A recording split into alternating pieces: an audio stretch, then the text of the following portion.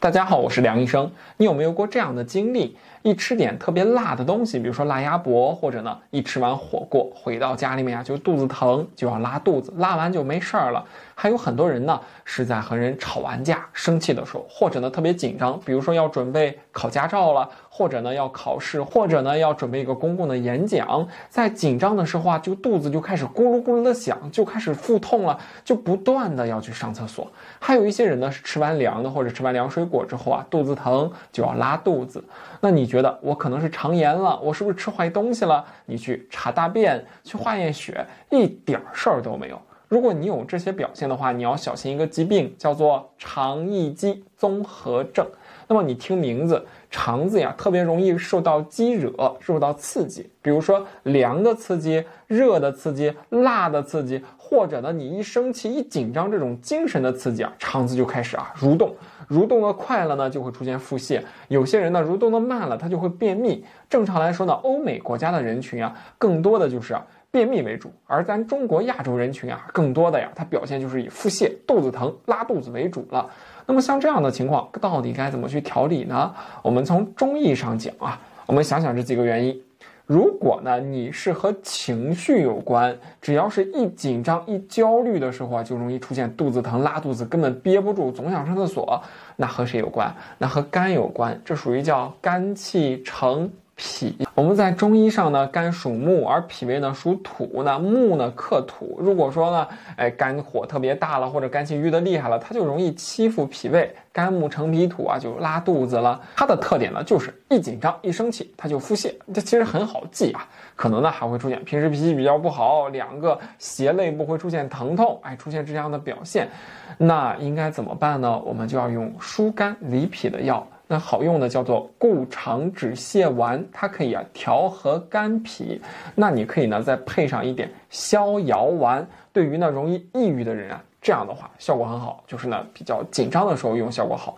如果呢你是说脾气大了和人吵完架容易腹泻啊，一生气就腹泻，你可以用一些加味逍遥丸配固肠止泻。那加味逍遥呢，它呢加了丹皮和栀子，更偏重于清肝火一些。这是首先第一种和情绪有关的。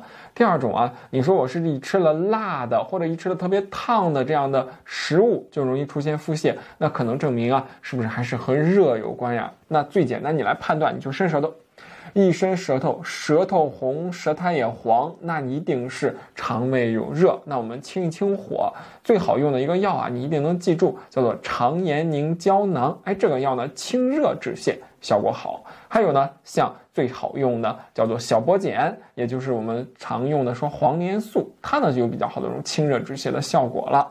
那你说我呢，每次吃完火锅，它就拉肚子，但是啊，我去看过了，我的舌头啊也不红，舌苔也不黄，就是舌苔很厚。那如果你是这样的情况呀，它和热就没关系了。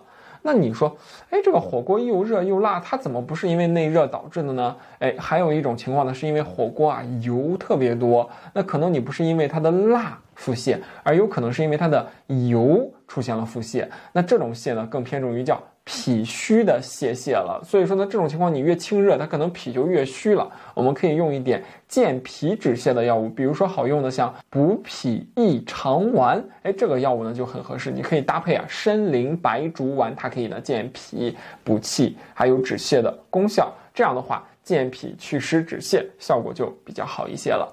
那还有一些人呢，是一吃了凉的就容易腹泻。那像这样的人群的话，那更偏重是脾阳虚，也就是脾胃的阳气比较弱了。那我们可以用一点附子理中丸，还有呢，像肠胃宁胶囊，它们呢都有这种温中止泻的效果。那你一听，你是不是就学会到底该怎么用药了？最后呢，还有一种人，他的刺激啊和时间关系比较密切。什么时候呢？早晨一起床呀，就肚子疼、拉肚子。那如果有这样的表现啊，更多见的呀，属于叫五更泄泻、晨起腹泻、泻后痛减。那这种情况，其实在西医上也属于是这个肠易激综合征的这样问题。它呢，在中医上属于叫脾肾阳虚，就不光是脾的问题了，它肾阳也虚了。那么它会伴有啊，像腰膝酸软呀，晚上总爱起夜呀，怕冷，手脚冰凉这些表现。那你可以用一个经典药物叫四神丸，用上呢就特别的好用了。那我们除了应用这些药物之外呢，我们还可以去用一些止泻的穴位。我教你一个呢，除了湿热泄泻之外呢，其他的腹泻都能用的一个方法。你呢就用艾灸的方法，你灸一个穴位，一下就能记住它，叫做天枢穴。天枢穴在哪呢？它呢在我们的肚脐，肚脐呢往两边旁开呢两寸。两寸呢，也就是两个大拇指的这个宽度，比较好找。这个穴位呢是大肠的募穴，专门治腹泻的。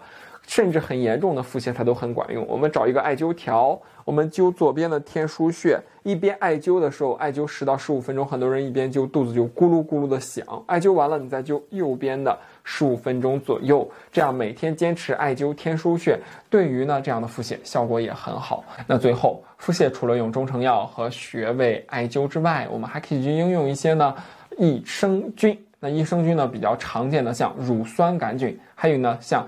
第一芽孢杆菌，也就是常用的整肠生，还有呢各种的像酪酸杆菌、肠球菌、三联活菌啊，还有一些像二联活菌啊，哎，这些药物呢，我建议啊，你经常腹泻的人呢，最好要常吃一段这种的补益肠道益生菌的药物。很多人呢是因为啊各种不良的习惯，导致了肠道菌群的。紊乱，那你补充一下益生菌，效果是非常好的。你像小孩的话，可以用枯草杆菌、二联活菌，就妈咪爱去来呢，长期的调理一下这样的肠道的益生菌，对于呢肠易激综合征的效果还是非常非常好用的。好，本期课程到此结束，更多健康知识请关注我。